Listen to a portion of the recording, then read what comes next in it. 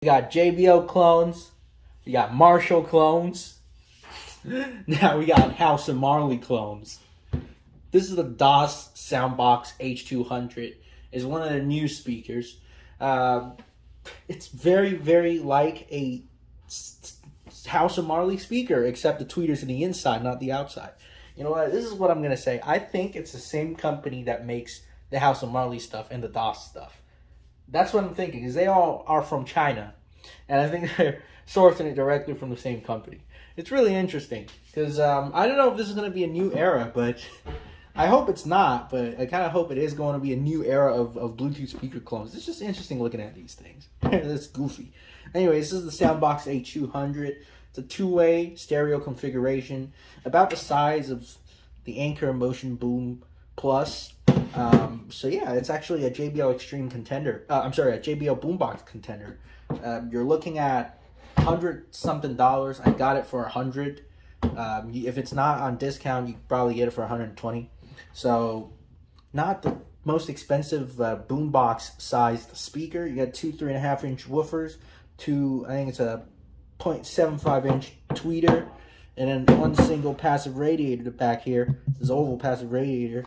And um, another interesting thing I've noticed about this is that you get a coaxial input. Not, I haven't seen any Bluetooth speaker that has that. Anyways, uh, let's compare it to the Anker. Volume at about 50% for the Soundbox H200, about one third for the Anker Soundcore.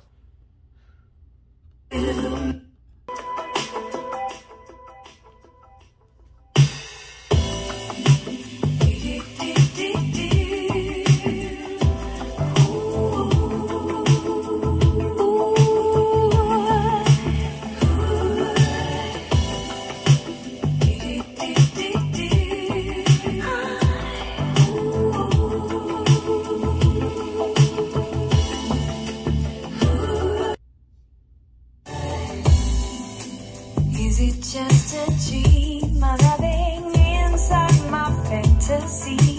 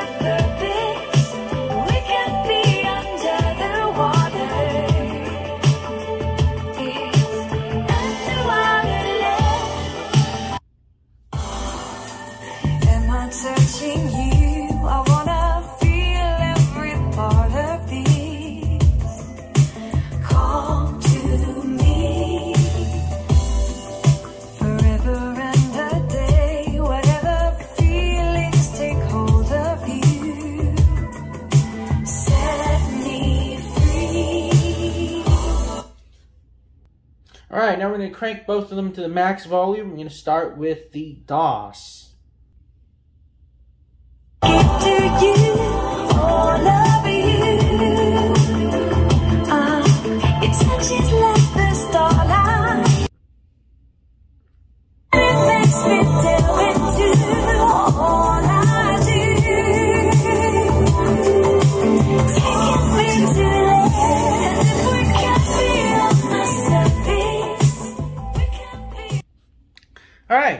Right, loudness wise, I would say, interestingly, they're comparable. I expect the Doss to be a lot lot quieter because um, when it's playing at half volume, the Anker is only playing at one third. So I guess it's the difference in volume stepping. Uh, the DSP is tuned differently, but loudness wise, quite comparable. I think the Anker does get a little bit a little bit louder at max volume, but the Doss retains a bit more bass. So it's a give and take. Let's talk about the sound in general. Um, I feel like the Anker has just way more bass, or way more boosted bass as compared to the Doss. It also plays a little bit deeper. It plays down to the 40 hertz region, whereas Doss will start rolling off at, um, I'd say, a good 65 to 70 hertz. Um, the Doss could barely play down to 50 hertz. I'll show you that once we uh, pull out the frequency measurement graph. It rolls off pretty quickly. So for a speaker this size, Um, it's to be expected because you can see this is quite um, quite shallow. I would hope they can make it a little more deeper.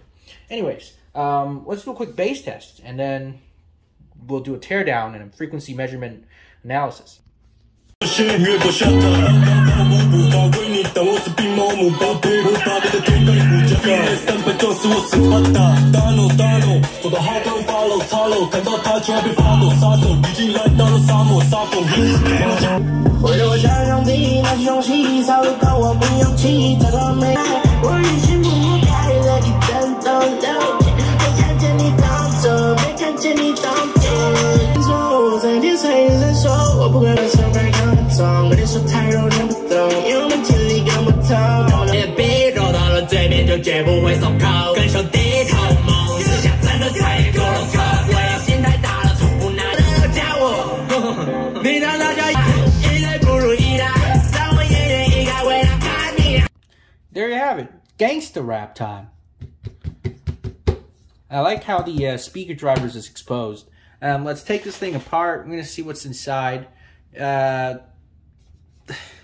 this is actually real wood, by the way. But let me tell you a, a, a sad truth: the enclosure is still plastic. You'll see. All right, so we got our uh, amplifier board here.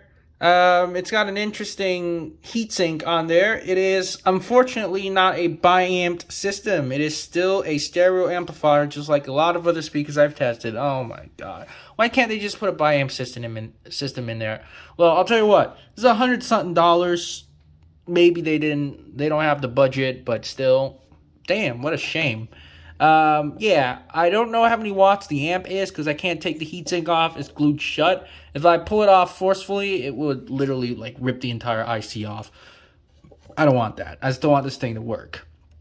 And there is probably it's a like I said it's a three chip configuration, so there is some battery, uh, some power management chip for charging a battery, and there's probably also some sort of a conversion or, or digital audio, uh, digital to analog or analog digital. I don't know, some sort of a converter for the coaxial. Like I said, I don't really know what that is for.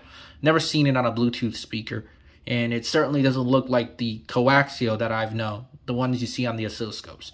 Um, then again, this is so see here. This is probably a like a buck converter from USB C to to to convert it to the right voltage to charge the battery, and also a um, battery monitor thing that keeps in track, you know, how much power, uh, how how much uh, charge there is left in the battery. And then right here, you also got, ooh, the light, can't see it, ATS 2853. This is your all-in-one Bluetooth chip. It's got DSP, Bluetooth, and all that junk built together. So, like I said, very typical Huaqiangbei configuration. Now, remember, there is a woofer and a tweeter, right? The crossover is a simple, simple 4.7 microfarad capacitor. Yeah, nothing too fancy right here. Uh, yeah, I almost forgot this top part. This is where the uh, rotary encoder is at. It's got this little clicky switch. You know what? Save the money for a goddamn rotary encoder. Just use buttons, and then use that money and make an active crossover for the speakers. Uh, here is your boards. There's nothing too fancy there. I'm not gonna take it's like eight screws. I'm not gonna remove them all, but you know this is a rotary encoder. It's a couple of buttons and LEDs. Down here we have our big oval passive radiator. It's quite stiff, really, but um, yeah, does get the job done, but it doesn't really provide any much bass to it. Like I said, this rolls off pretty quickly. The speak. I tried to get the tweeter out, but it's glued shut in there. It's just a small dome tweeter, nothing too special. All right, this is the front panel. Three and a half inch woofers. These are the uh, dome tweeters. And this is an 18650. Actually, no, I don't think these are 18650. Yeah, I was wrong. These are not 18650s. These are 21700. So, uh, two of these 21700s, you'd get approximately three to four 18650s, um, you know, worth of capacity. But it's still uh, 7.4 volts. So, yeah, it was actually, this is actually a bigger battery than what I expect. I thought it was just two 18650s. Big shout out to uh, Anker. Or, I'm sorry, not Anker. What am I saying today? I can't talk properly. Uh, Doss. See, there's so many of these Huaqiangbei brands, it just really confuses me. What is what? The only two that I could definitely make out is Tribit and uh, Earfun. Those are the two uh, great pillars of Huaqiangbei-ness. Not the other stuff. I'll pull one of these drivers out and show you what's uh, behind. All right, this is your three and a half inch driver. Very interesting. Four ohms. And uh, that's a beefy magnet. There's no venting, but uh, so that's a decent sized driver. I like this. This is good. Big shout out to Doss. That's some quality stuff right there. All right, anyways, to uh, sum it all up, we're going to take a look at the three categories of a good Huaqiangbei speaker, what a good Huaqiangbei speaker should have. Number one, sound. So sound-wise, the speaker is actually pretty decent. Let's take a look at the frequency measurement. I'll show you why. All right, so if you're looking at the frequency response, you would see that, wow, all the way up to 3 kilohertz, the speaker is exceptionally flat.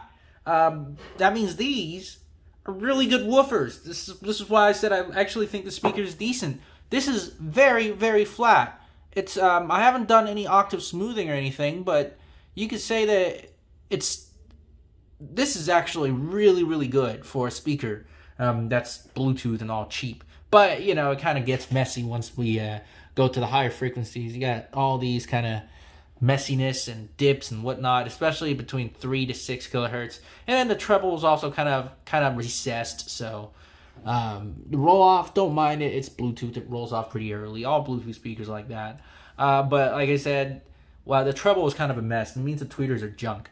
And um, I think also the, the weird placement does to that too.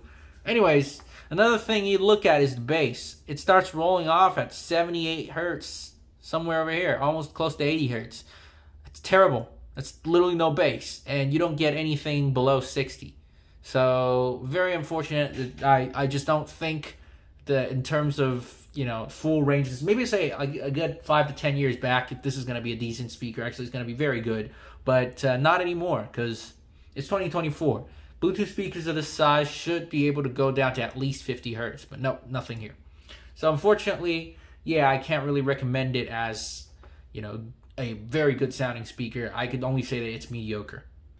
Now let's talk engineering. If we completely disregard the, disregard the poor sound engineering, meaning putting a three and a half inch, two three and a half inch woofers actually in a tiny enclosure like that, um, let's just talk about the engineering of you know the placement of everything and and all that stuff. I'm gonna show you this real quick.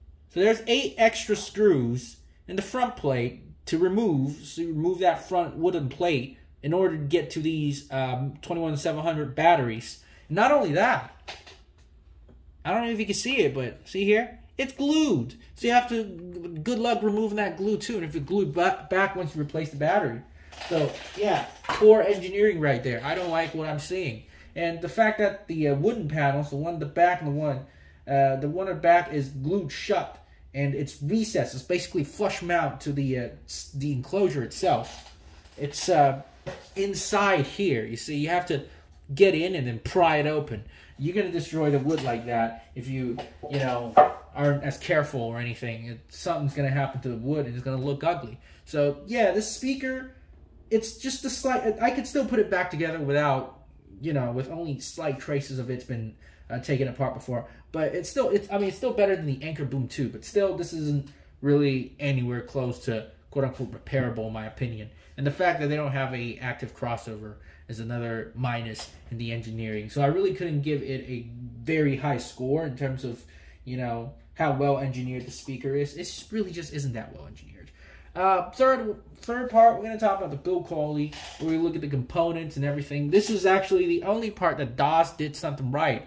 Uh, the build quality is decent. This is actually, ooh shit, this is actually a metal knob. Good job, Doss. I like seeing that. These circuit boards are of very good quality. These are almost, like I said, it's very close to those of an Anker speaker or JBL or something like that. Uh, but not quite. It's just, but it's very close. And not to mention, we got this driver. Look at that. That's very good stuff. So, yeah, um, that's about it. All know what I recommend the speaker. Yes, if you're not a bass head. If you're a bass head, look some look for something else.